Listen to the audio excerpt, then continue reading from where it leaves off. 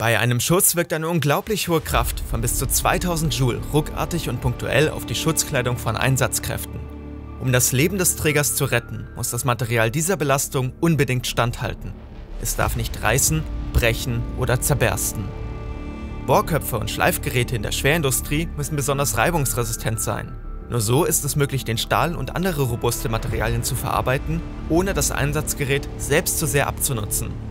Und in der Raumfahrt benötigen wir Materialien, die sich nicht so leicht verformen, beispielsweise um den Unterdruck des Alls standzuhalten oder beim Start der Rakete das Biegen zu verhindern. Kurz gesagt, wir benötigen in unglaublich vielen Einsatzbereichen unfassbar widerstandsfähige Verbindungen und Beschichtungen. Allgemein wird diese Widerstandsfähigkeit häufig als Härte bezeichnet.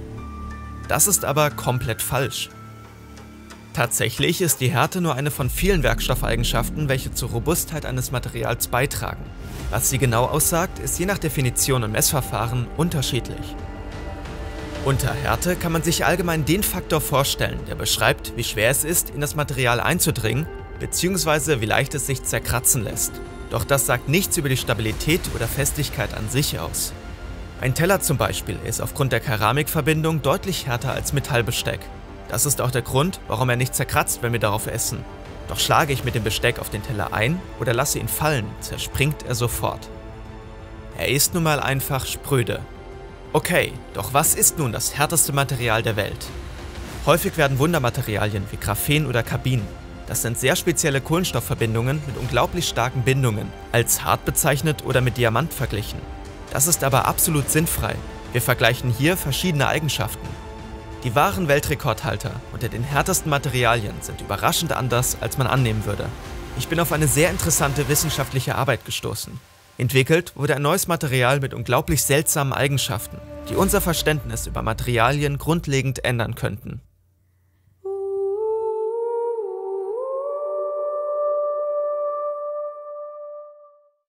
Härte ist ein abstrakter Begriff. Um diesen irgendwie messbar zu machen, gibt es verschiedene Verfahren. Jedoch können Nebenfaktoren wie die Biegsamkeit leider nicht immer komplett ausgeblendet werden. Härte können wir messen, indem wir versuchen, mit einem Diamantstempel bzw. einer Diamantpyramide in ein Material einzudringen. Gelingt das, ist dieses logischerweise weicher als Diamant. Gelingt es nicht, härter. Verlassen wird sich dabei auf die Erkenntnis von Friedrich Moos vor mehr als 200 Jahren. Harte Materialien können weiche einritzen, Umgekehrt ist das allerdings nicht so leicht. Er testete verschiedene Materialien, Gesteine und Co., indem er seinen Fingernagel, Kupfermünzen oder Kristalle in diese drückte und vergab nach Gefühl Härtewerte zwischen 1 und 10. Immer wenn wir von der Härte 10 eines Diamanten sprechen, verweisen wir auf eben diese Skala von Moos. Der Diamant war damals ungeschlagen das härteste Material. Auch wenn die Moosche Härteskala an sich unwissenschaftlich ist und schon längst durch genauere Messverfahren ersetzt wurde, findet sie häufig heute, besonders in der Keramikindustrie oder Geologie, noch Anwendung. Heutzutage macht man allerdings hydraulische Eindringungstests oder Bohrtests. Doch diese sind nicht selten äußerst kostspielig. Eine simplere Variante ist die Zugprobe. Hier zieht man das Material auseinander und prüft, wann dieses nachgibt, zerbricht oder reißt. An sich sagt das über die eigentliche Härte aber überhaupt nichts aus. Tatsächlich hat hier Diamant sogar eine deutlich geringere Festigkeit als Stahl oder Eisen Graphen und Kabin, beides geniale Kohlenstoffverbindungen mit unfassbar hoher Stärke, sind hier die Rekordhalter. Bei Graphen handelt es sich um eine einatomdünne Schicht, bei Kabin sogar nur um eine Kette von Kohlenstoff. Zerreißen lassen sich beide Materialien weniger als alle anderen bekannten Materialien unseres Universums. Doch diese Zugfestigkeit nur mit der Zugfestigkeit von Diamant zu vergleichen und dann Graphen und Kabin als mehrfach härter zu bezeichnen, ist verfehlt. Diamant hat hier ja überhaupt keine Rekordposition. Die Härte von Graphen sowie die Steifigkeit an sich sind Diamant unterlegen.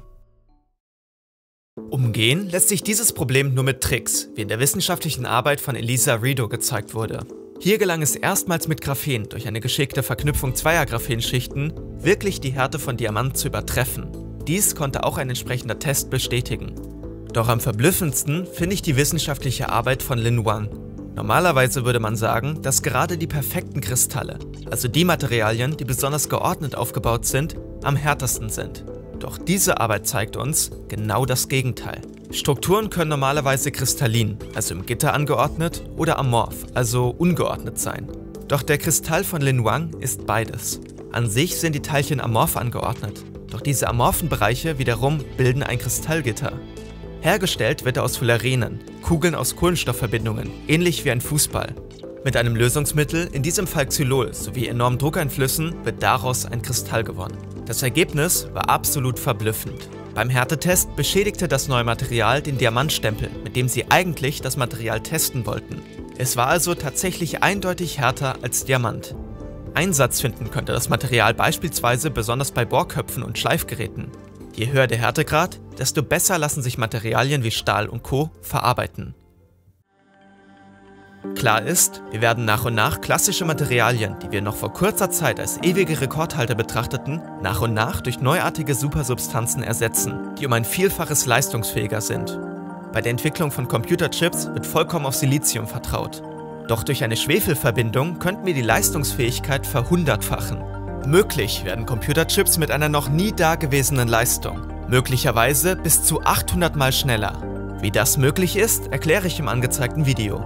Klicke gerne darauf, um mehr zu erfahren. Außerdem abonniere gerne diesen Kanal, wenn du mehr Videos möchtest.